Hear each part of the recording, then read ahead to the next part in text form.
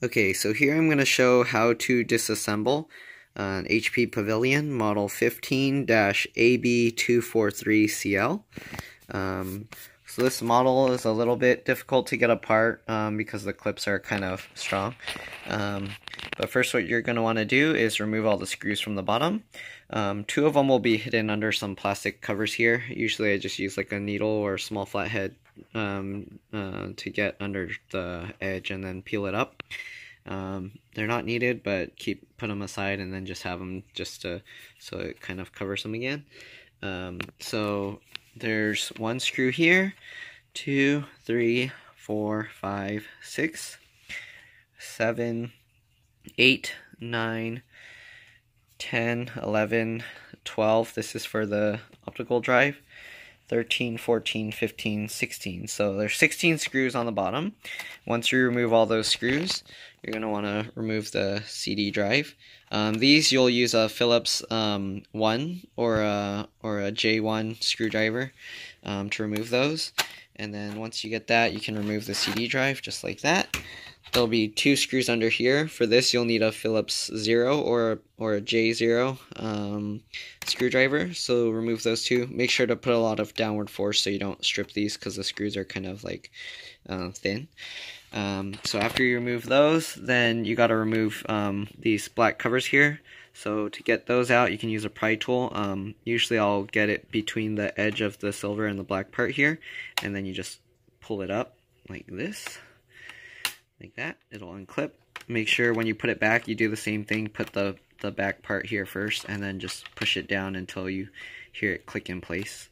So put it down, and then you can kind of like click it. Um, yeah, it's hard to do with one hand, but yeah, you get the idea. Make sure to put that back piece in, and then there you go, like that. So the clip is like around this area, so that's the part you'll kind of have to put pressure on. Okay, so remove those two covers. There'll be another screw under here. And then same thing with this side. Lift that one up.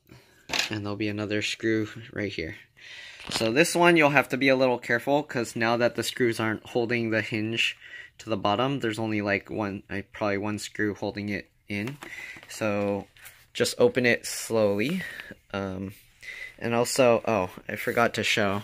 Well, you should know, but for the battery, in case you didn't know how to remove that, um, so this one would have to be in the unlock position, like this. So make sure to unlock it, and then you slide this one over, and the battery will just pop up. So when the battery pops up, yeah, you just roll it out like that. Okay, so after that, um, just slowly open the lid. Don't open it too quickly because you can damage the hinge area if you do. So do that. And then just like all the other ones, hold the power button for a few seconds just to drain any power, just to be safe. Okay. Alright, once you got that, um, to remove this, what you want to do is get a pry tool or your nails between the these two parts and just pull on it. You'll actually hear it pop apart. So just go all the way around doing that. Let's see here, just like that. Okay, on the CD slot, be a little careful because if you pull it too quickly, you might crack that piece. Okay. Alright, just go all the way around the sides. So this edge will be a little difficult. I actually have to use a, a pry tool for that. So when you get to the back edge, what you want to do, um, you can pull this gray piece out, and then this one you'll actually have to pull downwards. So this is a little tough, so I'll actually use a pry tool to do it. So what you do is just get the tool between the two layers and pry it downwards like this. You'll hear it click. That means the clips are releasing, so just go along and do that all the way around. Alright.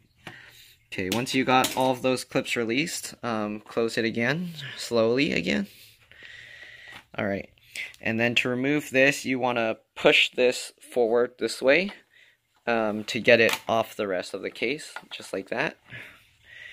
And then you can kind of wiggle it out, so just like that.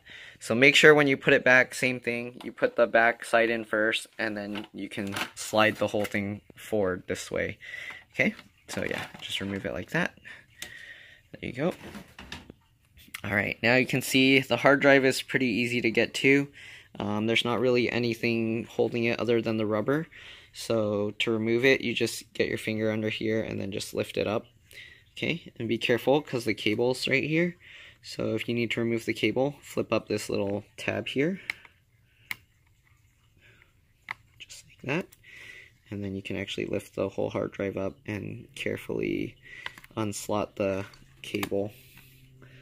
Just like that. Okay. Now you can replace this with an SSD or another hard drive. This one, the hard drive went bad, so we're actually going to replace it with an SSD, upgrade it. Um, then you can see there's actually two RAM slots, but they only use one.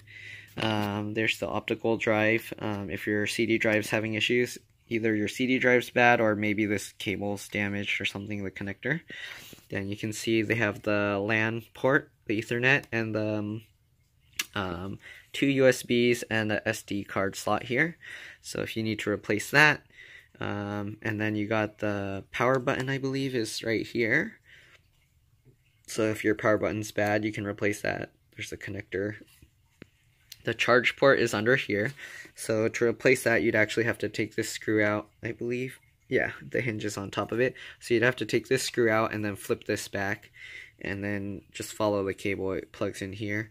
Um, to remove these, like the other ones, there's the little tabs that stick out. You just kind of wiggle it with your nails like that until it comes out. Um, this is the LCD connector just like the other ones, has a little flip up latch. And then there's this other connector, I believe this is for either the webcam or touchscreen. And this one, it just pops up. So you actually get under, get your nail under it or some small tool and you just pull the two things.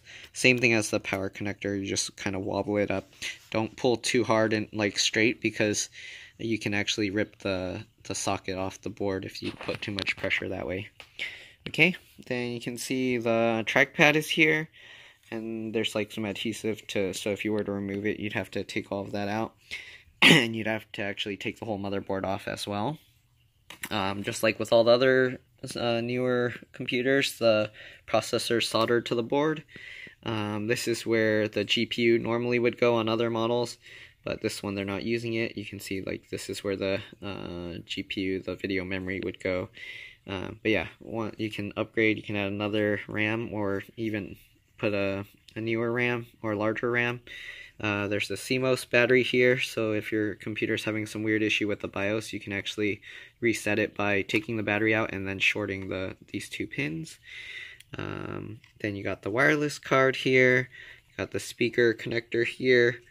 Um, there's actually two speakers, so this cable, there's actually a cable that runs underneath the board to both speakers and then the speaker connects here and you got the fan. This fan looks like you can remove without taking the board out. You just take these screws off. Um, oh there's three screws and you'll have to flip the the hinge back and then you can remove that. Wireless card just like the rest you just flip the back cable up and it'll pop off the connector. Don't pry from like the front or the sides because you can damage the connector on the wireless card. Um, but that's pretty much it. If you have any questions, feel free to leave a comment below, and I'll try and get back to you as soon as I can. Thanks for watching.